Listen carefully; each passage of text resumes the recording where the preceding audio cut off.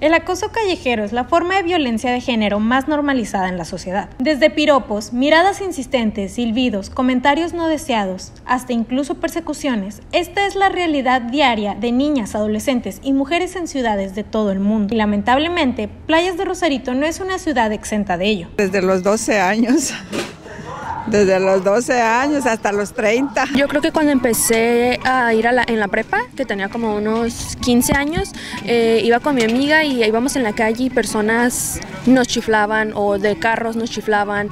Eh, todavía hasta la fecha, a veces cuando voy caminando sí hay, pero nada más es en el carro y nada más siempre me dicen como de, ay, o sea, súbete o cosas así y me chiflan o así. Cuando era joven sí, sí se molestaba uno cuando los ibas caminando y los hombres te chiflaban, no te decían cosas no agradables, ¿verdad?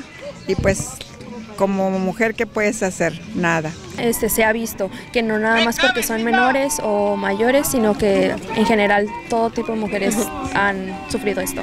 Yo creo que para a, este tiempo ya se está haciendo un poco más peligroso el hecho de que se está viendo un poco más normal pues todo este tipo de, de situaciones. El volverse más normal es como que ya nadie va a hacer nada porque, ah, es normal es normal. Entonces, al haber ya autoridades que están especialmente encargadas de esto, es un poco más controlable la situación. Informando para CNR Televisión, Alexa Hernández.